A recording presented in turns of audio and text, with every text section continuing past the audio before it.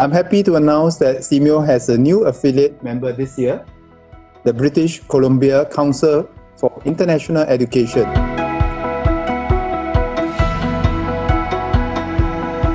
We, the SEAMEO Council, do, in the name of the peoples of Southeast Asia and by the authority vested in us, solemnly proclaim the Kingdom of Morocco as associate member of SEAMEO. And we look forward to having Morocco participate actively in SEAMEO activities. Congratulations once again.